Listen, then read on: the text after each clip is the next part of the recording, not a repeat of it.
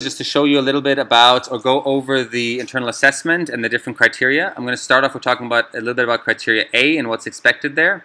And what we'll do is we'll look at the uh, at the template over here um, that I've given you that all you have all you all have access to, as well as this rubric in terms of um, how it's going to be graded. And we're going to do that um, as well by showing you uh, two examples from um, ISK students from past years that both did very well on the IA. Um, so uh, we'll put everything into context. So the first part um, is actually, before I start, I'll talk a little bit about this template. What I recommend you do is you first make a copy of this template. So you just say File, make a copy, make a copy of this template, give it your name, um, and uh, and then uh, you know you're going to share that with me because that's what that's going to be your running document. Um, here in in uh, so these are the different sections. Criterion A is what we're going over right now. Um, it's approximately six pages. I, I, I, sort of indicate how much each section should approximately be. And again, this is not a, a steadfast rule. It's just um, approximation. The next thing, you have the different sections of criterion A. So here we have problem design opportunity. And I tell you here that it should be approximately two A4 pages and 400 words um, within this section. If I go on, I'll see design brief is the next part, one A4 page, 150 words, and so on. In terms of, I recommend you leave this, uh, the, the red is kind of a guideline to show you what's expected in these different sections. So I actually, please don't write in the box. Instead, for your content, um, you know, just write it, you know, write it over here. And this is what then um, I'll look at, and I would just keep these uh, boxes underneath it just for your own reference um, later on. You can erase them uh, uh once you turn in your IA. Anyway, okay, moving on. So the first part is the problem and design opportunity. The first part is the problem statement. In this problem statement, it, it consists of four components. The first one is the current situation. And the current situation um, is, uh, you know, the current situation that, uh, that um, where this problem occurs. So for example, again, the whole idea is you're solving a problem. So the two examples I have here is one of them is Amani's. Um, and what he did, he designed a way for um, seed balls to be disseminated. Seed balls are these are these little capsules that have a tree seed in them. Um, and the idea is he wants to design a, a solution for distributing them efficiently. Um, so in his case, for his current situation, what he said is his current situation is that there's, uh, you know, uh, deforestation is a big problem in Kenya. He talks about the fact that, you know, how much forest cover has been lost in Kenya. Um, the second example here is, is Varia's, and she talked about her problem is um, not an easy way to dispense water bottles. So you have these big water bottles and you have these big bulky dispensers, and she wants an easy way to dispense them, like when you go in camping, for example. Um, so her problem, so her situation is again that uh, you have these water bottles, um, uh, and you know the, the, situation is families prefer to bring large water bottles um, intended for dispensers on camping trips. Um, and then her current problem in this case is that they're too bulky and they're hard to fit on a stand, uh, on, on, the, on the quintessential stands, and, and, the current stands are also too bulky. In, uh, in Amani's case, the current problem in his case, so, so deforestation situation, the current problem is that there's no efficient way to distribute these seed balls. So at the moment, um, you know, you get these seed balls, which is, which is a great way to grow seeds, but the way you do it is just you throw them out.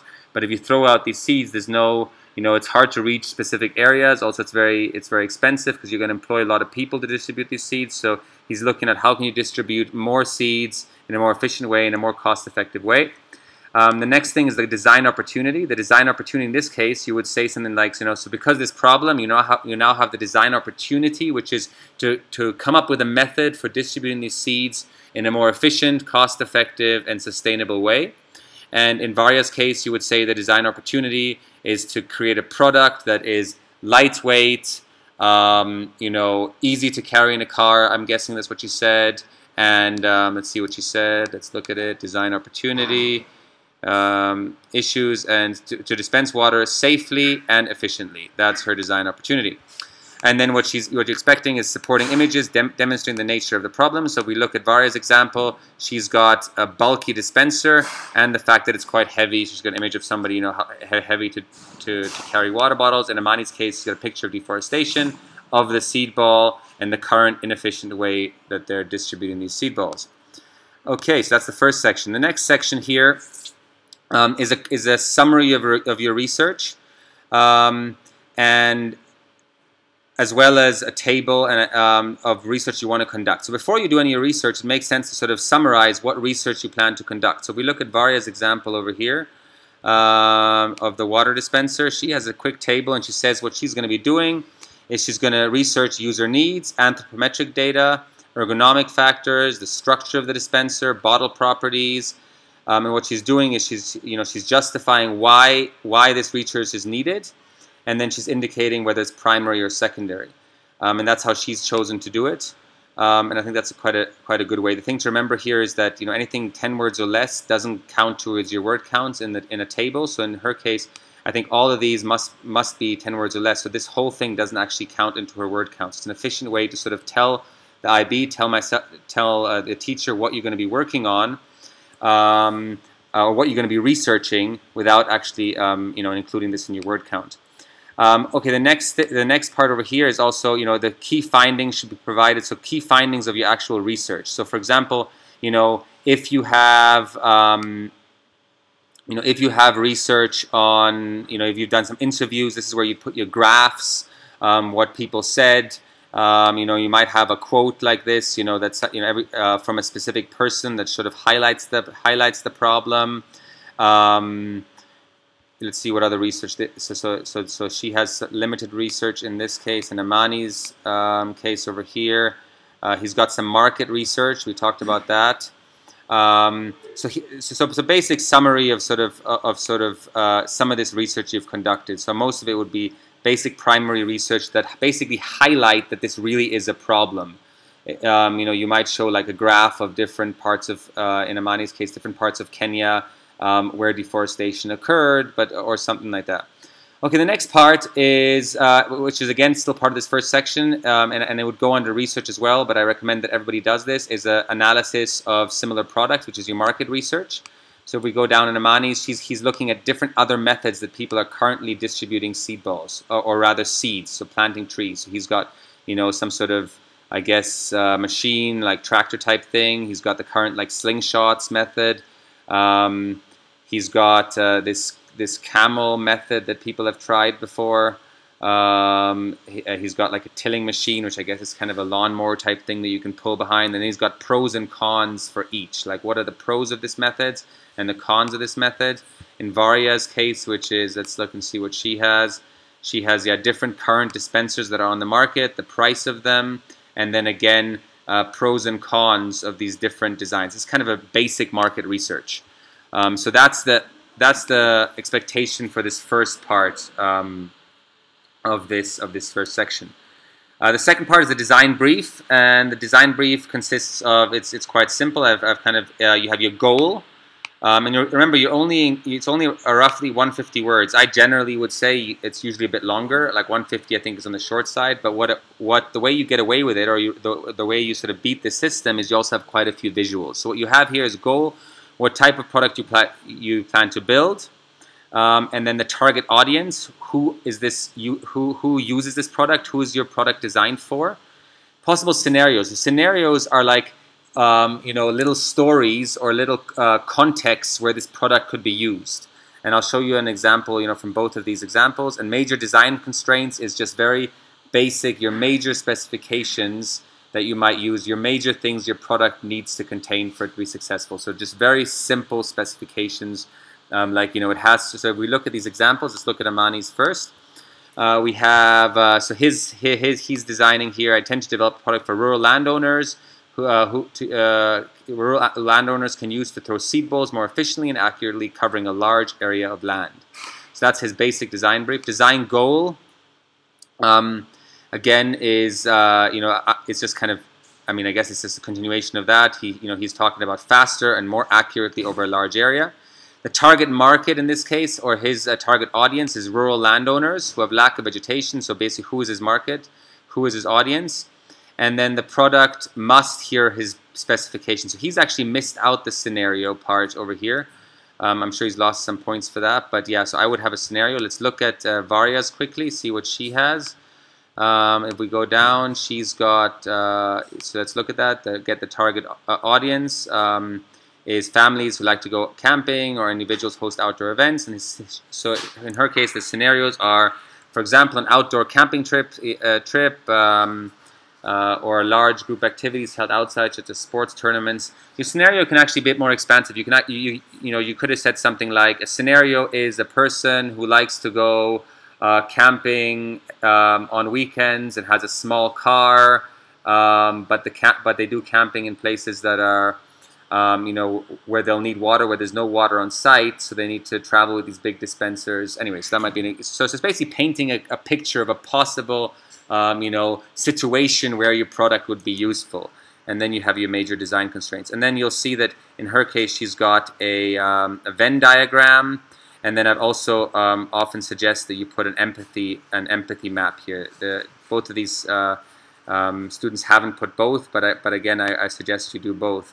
A Venn diagram is very simple. It's a visual way, and the way I recommend, actually here I have another slide I've, I've created where you can sort of explain the two things. So again, uh, a Venn diagram, what I recommend you do is you just, it, it's basically consists of sort of three circles. And uh, you have your user. So in Amani's case, you would have rural farm owners. You, have, you would have your task, and your task is distributing seed balls. And the environment would be areas that are deforested in Kenya. And you just sort of show this as a diagram, and then your perfect product is where those three parts meet. In, in Varya's case, you would have you know families that go camping. Let's say task is dispensing water, and environment um, would be like a you know would be on a campsite, let's say, or, or a place where somebody's camping. Um, there's other also other ways to create Venn diagrams, uh, not using these three, but this is kind of the simplest method. If we look at Amani's example here, what he's done, he says location, which I guess is environment.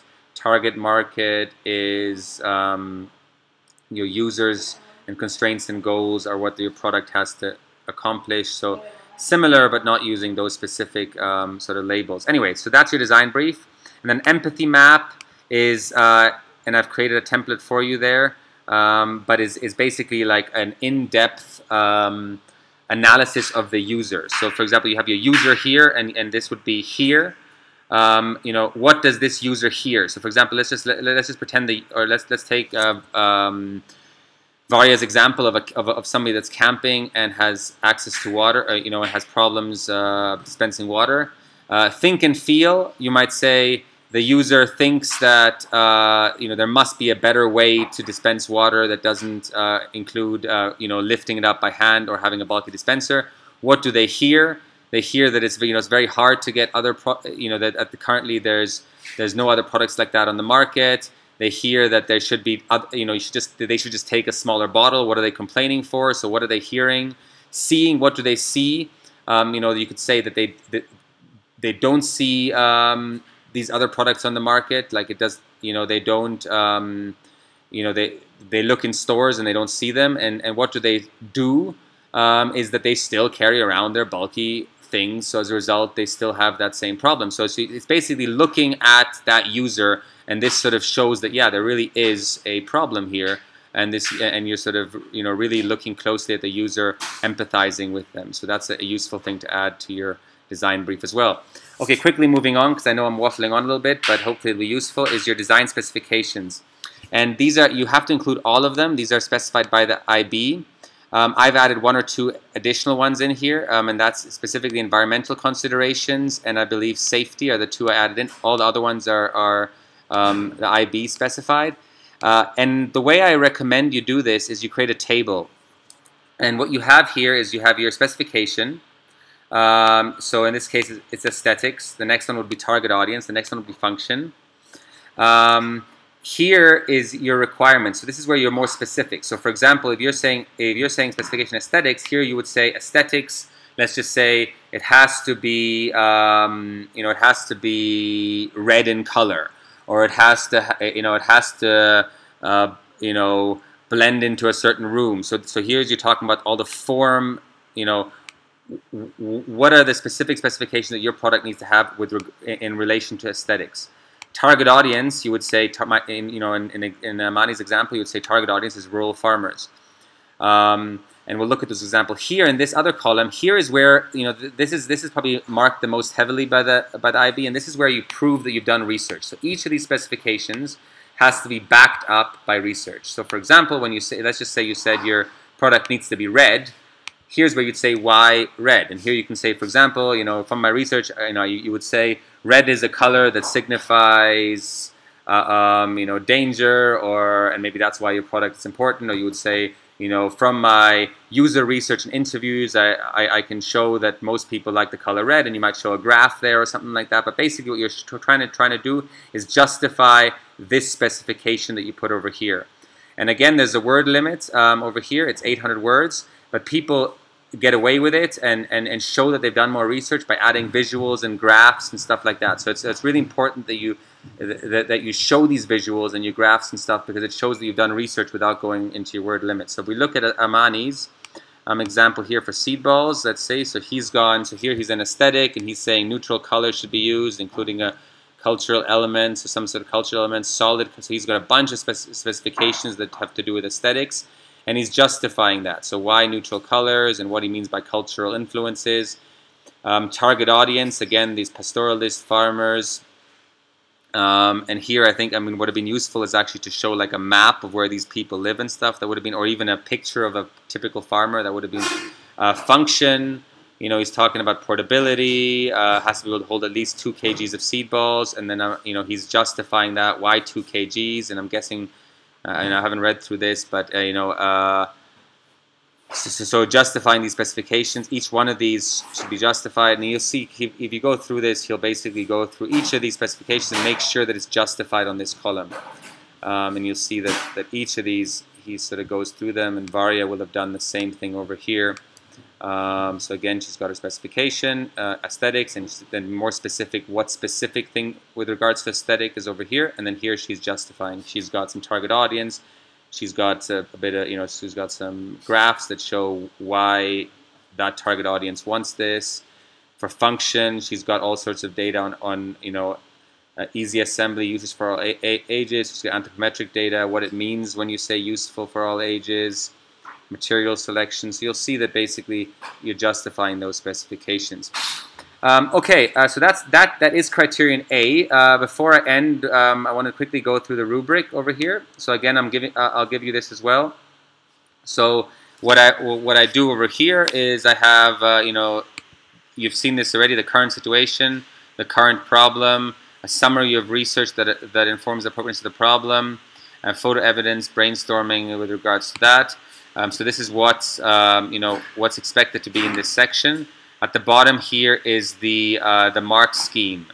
And what I'll do when I grade when I grade it, I will just uh, highlight in red if there's certain things that I feel you're missing. Let's just say you've you've explained the situation but not really explained the problem enough. What I'll do is I'll highlight this in red, like this, making you know letting you know that this is a part you can work on a bit more.